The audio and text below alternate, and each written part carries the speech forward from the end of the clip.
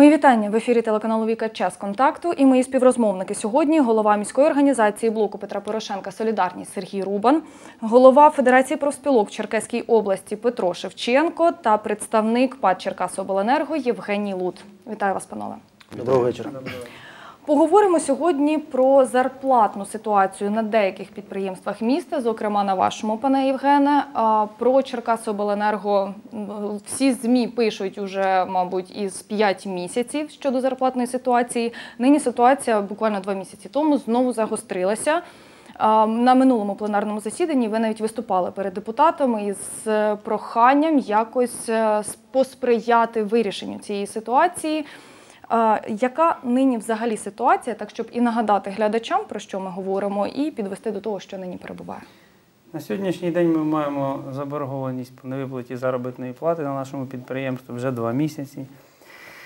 Про Наперед... які суми йдеться? А? Про які суми йдеться? Ну, десь близько 70, 70 мільйонів гривень на сьогоднішній день. Фонд заробітної плати нашого підприємства місячний складає десь біля 35 мільйонів. Було підвищення заробітної плати в нас і складає воно 35 мільйонів на сьогоднішній день. Да, 5 місяців назад у нас була така сама ситуація з невиплатою заробітної плати. Там біля 5 місяців робітники не отримували заробітну плату. Коротко спробую пояснити, в чому, в чому ж суть е, підприємства, яке на сьогоднішній день дуже рентабельне, е, воно заробляє кошти. Ну, Є така ситуація, як боржники нашого підприємства. Самий великий наш боржник і сама велика наша проблема на сьогоднішній день це ПАТ «Азот», який споживає електричну енергію і за неї не розраховується. Хочу нагадати, що борг даного підприємства, а саме ПАТ «Азот», на сьогоднішній день складає по нашим даним біля мільярду 600 мільйонів гривень. По сумі, на яку погоджується ПАТ «Азот», це мільярд 128 мільйонів з копійками. Е, Ця заборгованість виникла на протязі двох років попереднього е, керівництва нашого підприємства. Завдяки разним тіновим схемам азоту і керівництва нашого підприємства попереднього, ще раз наголошую, виникла ця заборгованість. Е, Ми завдяки цьому підприємству маємо заборгованість перед енергоринком. Е, Ця заборгованість складає на сьогоднішній день 700, біля 740 мільйонів гривень. І із-за цієї заборгованості перед енергоринком, це те підприємство, яке є постачальником електричної енергії на ринку України.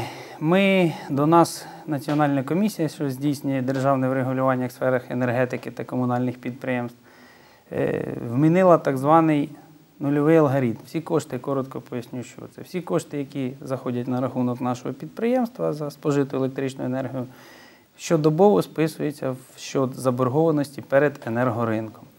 Голова комісії, а саме комісія, каже нам про те, що ви повинні урегулювати свою заборгованість, сплатити заборгованість, урегулювати відносини з енергоринком, тоді ми маємо про щось говорити, тоді ми можемо говорити про зняття так званих щодобових для того, щоб ваші працівники отримували заробітну плату. Е, Якщо, ще раз повторю, ми в енергоринок должні 700 мільйонів гривень, то ПАТ «Азот» нам должен більше мільярда гривень. Да? Е, На якісь перемовини ПАТ «Азот» ну, не йде. Мало того, на сьогоднішній день це підприємство працює, воно відновило своє Потужності? виробництво, да, і воно вчасно не розраховується за спожиту електричну енергію, перекриваючись екологічною бронею. Що таке екологічна броня? Це межа потужності, менше якої ми не можемо е, здійснювати електропостачання на дане підприємство. Ну, короткий приклад. Якщо у вас вдома ви заборгували за, за електричну енергію, вам просто надходить повідомлення і через три дні вас відключають. Дане підприємство маніпулює екологічною бронею, тому що обмежити в постачанні ми не можемо, тому що якщо ми припинимо електропостачання на дане підприємство, у них є такий е, аміачний колектор, який охолоджується подачею під струмом жидкого азота в систему і охолоджує цей колектор. Якщо не, не буде здійснюватись подача азоту, він не буде охолоджуватись, буде викид аміаку, зона відчудження буде 35 кілометрів в радіусі цього підприємства. Маніпулюючи цим, прикриваючись цим, дане підприємство споживає електричну енергію, не розраховується. Маніпулюючи цим, про борги перемовини йдуть дуже тяжко. Ви сказали, що вони йдуть або дуже тяжко, або взагалі не йдуть на перемовини. Скільки взагалі разів намагалися з ними якось про щось домовитися, і що робите, робите аби вирішити цю ситуацію поза спілкуванням з Азотом? На протязі перемовини вже йдуть більше шести місяців з даним підприємством. Уже це вийшло на рівень, можна сказати, національний. Це вже були е, численні наради за головуванням віце-прем'єр-міністра Кістіона. Остання у нас є, була нарада. е, Перша нарада була у нас, я зараз там 5, по-моєму, да, 5 жовтня 2017 року, на якому були присутні фонд держмайна, е, представники комісії, голова комісії НКРЄКП, е, директор Азоту, керівник ПАД Черкасобленерго. На цій нараді було протоколом зафіксовано три питання визначено. Перші, ну я не буду їх зачитувати, щоб не вдаватись подробиці. Перші два питання цієї наради це було врегулювати наші відносини з ПАТ Азотом, врегулювати наші відносини з енергоринком, а саме про йдеться мова про договори реструктуризації. Третє питання це е, комісія, е, я вибачаюся, Кабмін, а саме Кістіон рекомендував комісії НКРЄКП, я саме його голові, надати, змінити е, особливі умови в зміні алгоритму для того, щоб наші працівники отримували заробітну плату. Наголошувалось на, на, наголошувалось на тому, що ми входимо в опалювальний період, і щоб наші працівники отримували заробітну плату, а також мінімальні кошти на господарську діяльність нашого підприємства. Потім, е, після цієї наради, ми з цим протоколом е, почекали, відбулася одна комісія НКРЄКП, нічого не визначили, друга, на третю ми поїхали туди з трудовим колективом, на що в нас була розмова не на комісію, а просто ми поїхали в робочий день в п'ятницю. Да. Неділю назад це відбулося чи пів дві. Е, на що в нас відбулася перемовина з головою комісії, він сказав, коли будуть виконані перші два пункти цього протоколу, тоді ми маємо про щось говорити. Про третій пункт це про ваші заробітні плати. Ну, він тоді, тоді е, туди запросив е, директора енергоринку, щоб ми всі до нього не їхали, там біля 500 осіб нас було. Да, вирішили, що е, ми прискоримо процес наш перемовин і договору реструктуризації з енергоринком. Не буду довго пояснювати, там були певні процедури, завдяки яким неможливо було ускорити це питання. Тому що, перш за все, була політика нашої компанії така керівництво, заводили, відно, заводили відносини наші і енергоринку в глухий кут. А саме нашим керівництвом попереднім була така позиція, що вони не визнавали свій борг перед енергоринком. Тобто ми всі розуміли, що ми винні енергоринку, так як нам винен азот, але ми цей борг не визнавали. Потім ми визнали ці борги в суді, потім ми е, відстояли позицію енергоринку, а саме біля 800 мільйонів гривень ми помогли відстояти державі, тому що наше підприємство з 2004 року вже знаходиться в стадії банкротства і деякі. е, е, частні структури, які мають відношення до попереднього нашого керівника Світлани Кузьмінської, намагалися з реєстру кредиторів викинути самого великого нашого кредитора це енергоринок. Ну, поясню коротко для чого. Для того, щоб потім е, голосуванням приймати рішення, більшість голосів у них була, приймати рішення щодо долі даного підприємства. Ну просто для того, щоб його пустити на ліквідацію, і держава б нічого не отримала. Ми своїм колективом пішли, підтримали позицію енергоринку. Енергоринок нам за це подякував. На міністерських нарадах це було озвучено. Е, Тим самим за це время наше підприємство, ми бачимо те, що воно фінансово оздоровлюється у нас. Е, Збільшилися відпуски корисного, тобто ми почали більше перевиконувати план по збору коштів. Ми почали входити в норми по втратам по енергетиці, зменшили позанормові втрати у нас були, ми зменшили. Да? Тобто, І на сьогоднішній день ми зіткнулися на другій нараді. Ми зіткнулися, друга нарада відбулася потім за е, після цієї перемовини нашої з Вовком. Була друга нарада за головуванням Кістіона. Давайте вже безпосередньо про результати цієї Да, ну я, це, я хочу вам сказати, на другій нараді, ну коротко поясню. Е, При в присутності також е, директора Азота було зазначено, що договор реструктуризації буде, е, є ми, Черкасобленерго, є Азот, є енергоринок. Нам треба було заключити так звану трьохсторонню угоду. Для чого саме? Для того, щоб ми могли сплачувати борг перед енергоринком, нам потрібно, щоб нам наш боржник сплачував кошти. Тому що ми самостійно не можемо, якщо нам Азот винен кошти, ми самостійно, ну у нас немає. Ми, е, підприємство Обленерго це те підприємство, яке отримує прибуток за счет транзиту і обслуговування електромережі, не за счет продажі електроенергії, тому що кошти уходять на енергоринок. І щоб ми своїми, якщо азот у нас взяв і не віддав, ми своїми силами власними не можемо Нема борги азоту покривати. Да. Для цього азот ішов на перемовини. Вони готові були договор реструктуризації вкладати на 10 років. Енергоринок сказав, у нас через 2 роки буде реорганізація нашого підприємства. Більше, ніж на 2 роки ми не можемо. На цій нараді всі вирішили, знайшли золоту середину. Вирішили так, що ці, ну коротко поясню, ці 2, 2 роки. Ми е, сплачуємо по 35 мільйонів гривень в енергоринок. Ми винні сплачувати кожен місяць по 35 мільйонів гривень. Азот зобов'язують так само нам сплачувати ці два роки по 35 мільйонів. Але наша заборгованість перед енергоринком почти вдвічі менша, ніж заборгованість азота перед нами. Потім, коли ми за два роки розраховуємося з енергоринком, у нас залишається значна сума боргу. Потім ми вже, коли ці кошти азот винен нашому підприємству, ми робимо реструктуризацію боргу ще на 4 роки. Таким чином ми знаходимо золоту середину і для нас, і для азоту, і для енергоринку. Е, Керівник азоту погодився, поїхав согласовувати з керівництвом. Е, Це було в п'ятницю. Ми всі обрадувались, сказали людям, тому що наші люди вже ну зараз я до цього вернуся, були доведені до відчаю.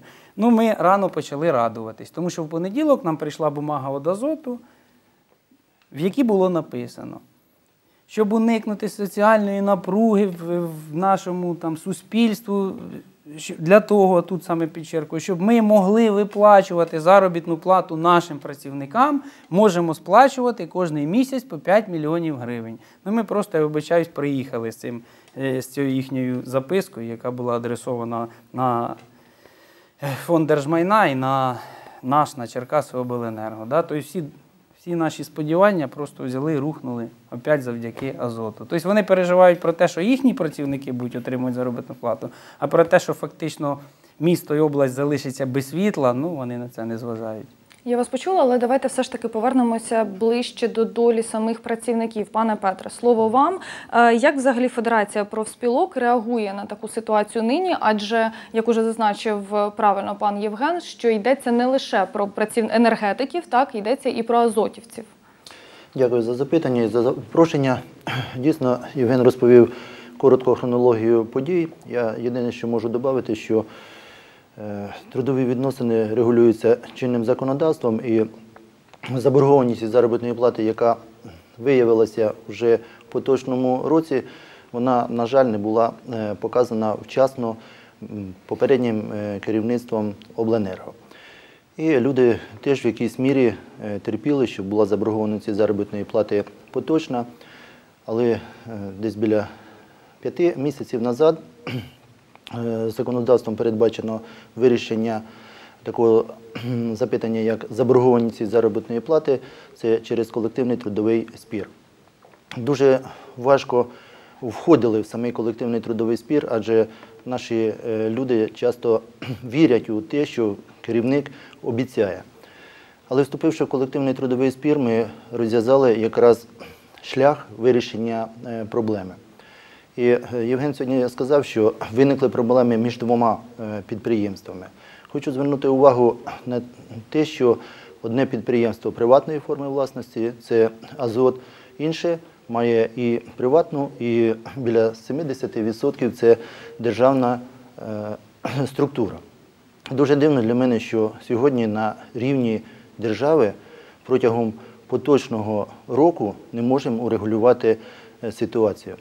Попереднє керівництво обленерго вивело велику суму коштів. Я не можу назвати, яка сума, але вона велика. І на сьогодні йдуть судові процеси.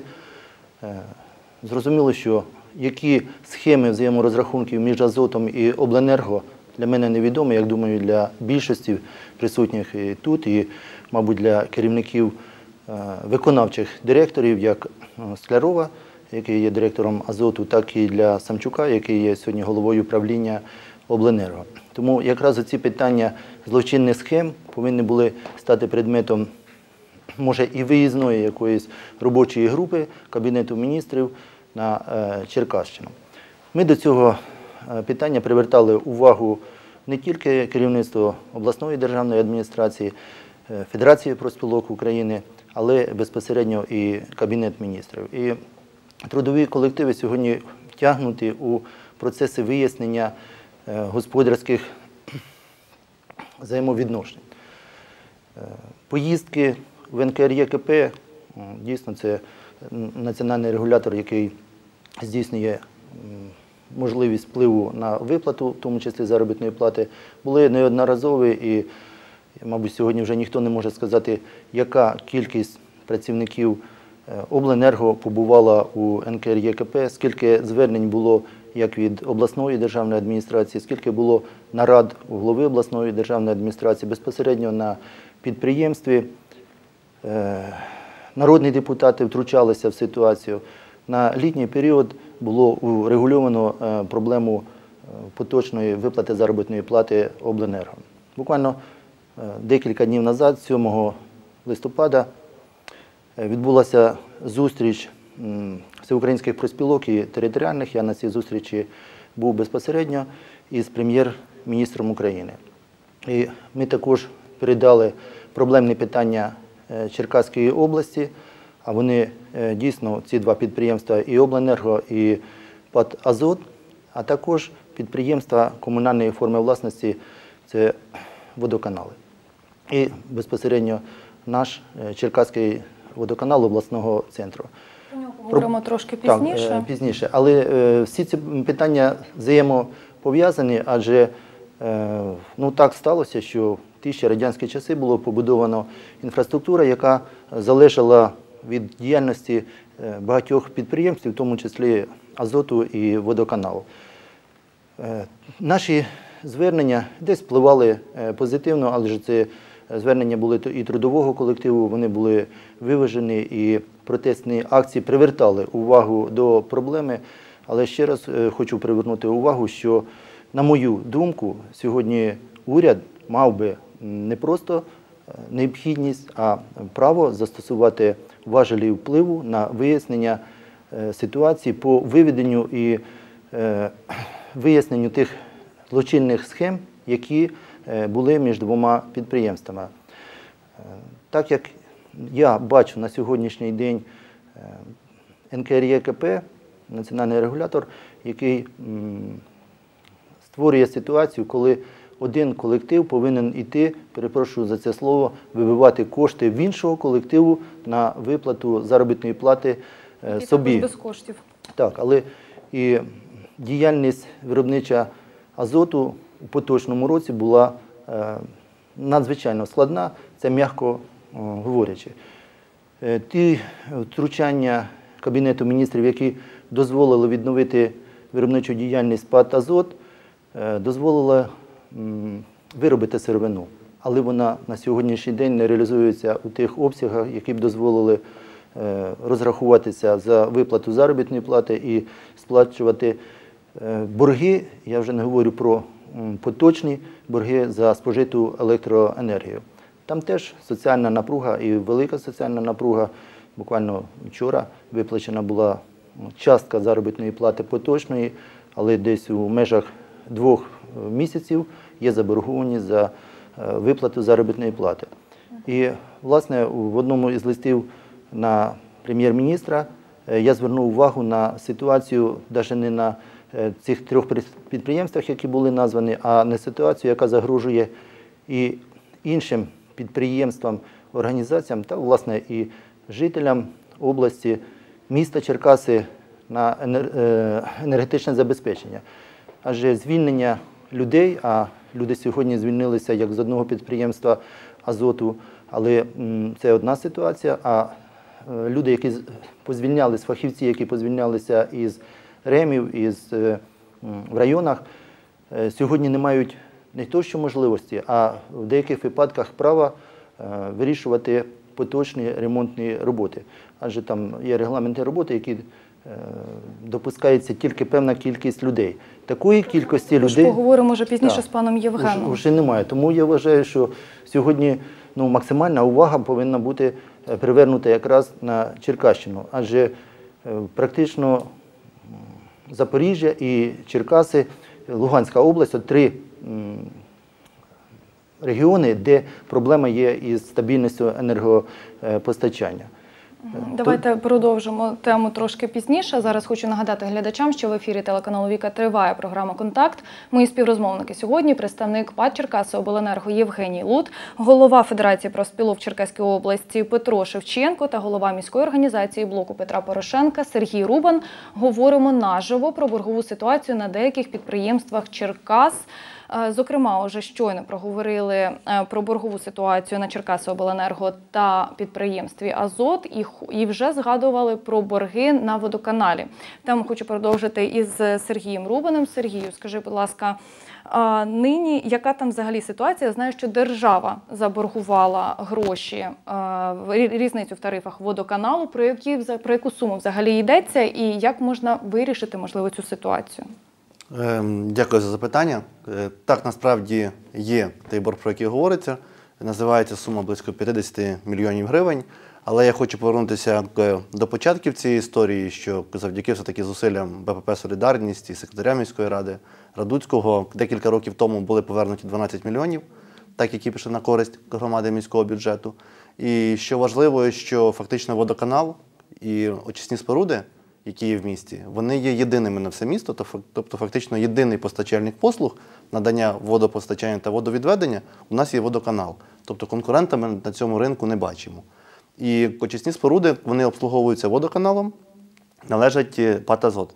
Так, е, є зараз заборгованість е, за користування цими спорудами, так і виник і відповідно тариф вищий, тому що він закладений завжди користування закладається в ціну. Було б менше, не було б заборгованості, була б менша ціна, менше споживачі сплачували б відповідно за ці речі. Е, мені здається, що є якась е, схема е, певних людей, які намагаються просто довести водоканал на сьогодні дуже прибуткове підприємство, комунальне підприємство до банкрутства, для того, щоб його приватизувати. Ми бачимо, напевно, не випадкове призначення на водоканал заступником, так, коли директор був у відпустці, е, представника фактично азоту, так, е, туди. Е, Можна здогадуватися, які мотиви надалі ми будемо слідкувати. Але я звертався і буду звертатися в правоохоронні органи е, для того, щоб з'ясувати взагалі ситуацію, яка відбувається на підприємстві. І, зокрема, якщо говорити про невиплату заробітної плати працівникам Черкасообленерго, так і борг азоту. Тут ми бачимо конфлікт, який існує фактично між двома суб'єктами господарювання. Заручником стали прості люди, тому що фактично в поганій ситуації перебувають працівники Черкасообленерго, в яких колосальна заборгованість по заробітних платах. І також, виходить, що вже з'являється заборгованість на ПАТ «Азот». Тобто в конфлікті, який не стосується людей, люди сумлінно виконують свою роботу. Вони щодня приходять, виконують. Е, За це вони не отримують заробітну плату через те, що попереднє керівництво, я так розумію, мало якісь там взаєморозрахунки е, з діючим чи попереднім керівництвом Азоту, так, через якісь фірми прокладки, е, які були, це ще невідомо. Тому правоохоронні органи, зокрема прокуратура, має дати цьому оцінку і мають притягнути винних до відповідальності. Зараз, завдяки втручанню народних депутатів від БПП, особливо так, на в літній період вдалося вирішити на певний період питання поточної виплати заробітної плати, як вже згадувалось е, моїми співрозмовниками. Так як е, ми надалі будемо сприяти тому, щоб це питання знялося, але ми розуміємо, що колосальна сума боргу є. Е, набуло е, загальнонаціонального розголосу. Недопустимим є, якщо почнуть, е, розпочнуться відключення електроенергії в звичайних громадян. Які фактично стають заручника Черкасобленерго, який, на жаль, я кажу, на жаль, тому що він є монополістом на ринку надання послуг в Черкаській області, і е, має бути конкуренція, як у випадку з водоканалом, е, з обленерго, так і в будь-яких інших сферах. Нормально, коли є декілька постачальників послуг, щоб люди безпосередньо, які користуються, е, могли обирати від кого брати постачання. І це є на заході, і як до цього веде зараз уряд. Тому що де-факто навіть тариф, які сплачують люди, він виставляється підприємству, яке надає послуги. Так, і він завжди може бути не до кінця обґрунтований, тому що вони не мають конкурента. При всій повазі до працівників до самого підприємства, так, е, має бути паралельний конкурент, який теж буде надавати послуги, де люди також будуть працювати, де будуть сплачуватись податки. Можливо, якби було декілька постачальників надання послуг, можливо, не виникло б цієї ситуації. А маніпуляція азоту, тут я підтримую Євгена, що вона дійсно є, бо відключити підприємство повністю не можна. Можна відключити там е, якесь житло або об'єкти, які належать азоту. Вони будуть без електроенергії, але де-факто саме підприємство від цього не страждає. Якщо відключити азот повністю, будемо мати екологічне лихо. Причому в обласному центрі, де знаходиться. Тому тут правоохоронні органи якомога швидше мають спрацювати і дати правову оцінку і притягнути винних до відповідальності. Зокрема, розібратися в в тому, які були взаєморозрахунки, і що робити з цим далі. І, звичайно, люди повинні отримати заробітну плату. Я впевнений, що уряд докладе всіх зусиль е, разом з обласною владою для того, щоб люди отримали заробітні плати, а схемщики були покарані. Ну, будемо чекати новин, зокрема від правоохоронців. У нас лишається буквально кілька хвилин, але хочу поставити питання вам усім по черзі, так із е, приводу того, що взагалі робити у цій ситуації, якими можуть бути шляхи вирішення.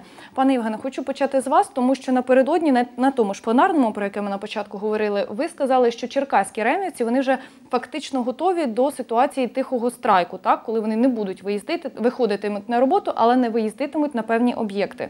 Напередодні знаю, що відключали Палац дружби народів від світла, і знаю, що виключали певні житлові будинки. Чи буде це продовжуватись, і ну що взагалі робити далі? Як вирішити ситуацію? Дивіться, тоді, коли перший раз ми входили в таку ситуацію з невиплатою заробітної плати, ну люди ще на щось позівалися, вони не розуміли, що відбувається. Да? Вони пройшли, на жаль, цей тяжкий шлях. Вони зрозуміли, що це таке жити без, електри... без заробітної плати. Зараз е, ситуація дуже панічна на підприємстві. Вони зараз не готові вже чекати, не проходити цей жах ще раз.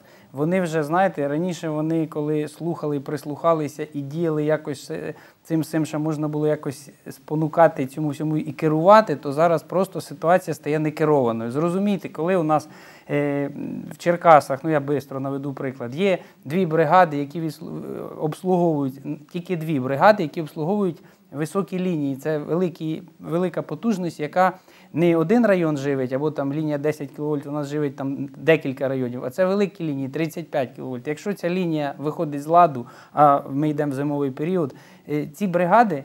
Їх обслуговують. На сьогоднішній день ці бригади написали заяви на звільнення, і в нас їх немає ким замінити. Якщо ми кажемо, ми е, е, висловлюємо велику повагу до е, працівників Азоту, ми їх розуміємо. Да? ну, У нас ситуація трохи інша, тому що для того, щоб наш працівник став фахівцем, проходить 5 або 10 років. І коли ці бригади звільняться, нам потім прийдеться з якоїсь сусідньої області визивати цих ці лінійні бригади, щоб вони обслужили ці лінії і будуть усі без світла. Зрозумієте? І без світла не тільки без світла, а будуть і без тепла. Тому що я пояснював на сесії міської ради те, що теплопостачання напряму залежить від електричної енергії, тому що воно все подається завдяки насосам. Ми знаємо ситуацію, яка відбулася рік чи два назад в Алчевську, коли порвало всі е, труби, порвало всі батареї в будинках, в житлових приміщеннях, тому що стався так званий гідроудар, коли е, насоси перестали качати, е, тиск зверху пішов, зіткнувся з тим тиском, яке подається Я з думаю, цього, що цю ситуацію роз- знають. А з приводу відключення світла, наприклад, в дружбі народів була якась реакція щодо цього, зокрема від е, ПАТ «Азот»?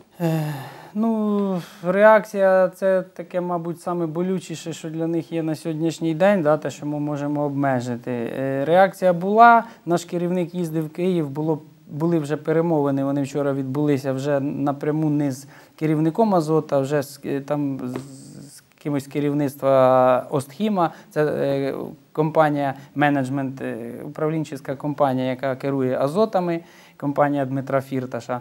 І були перемовини там. Сьогодні він також е, там засідання фонду держмайна. Тобто ми ще ми завтра будемо тільки мати інформацію, що там відбувається і які, яким чином ці перемови не замер- завершилися. Я вас почула буквально 30 секунд. Пане Петре, давайте ви Я не бачу можливості урегулювання цієї ситуації на обласному рівні.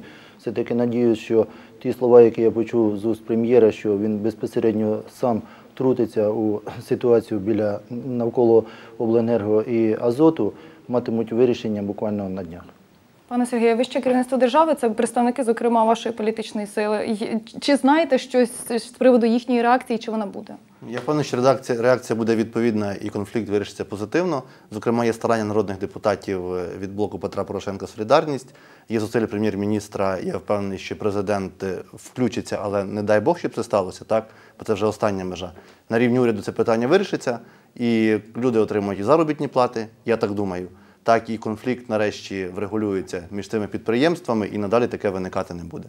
Ми будемо слідкувати в будь-якому випадку за цією ситуацією. А нині, панове, це все, що встигаємо на цю мить. Я дуже дякую вам за щиру бесіду. Глядачам дякую за те, що нас дивилися. До зустрічі.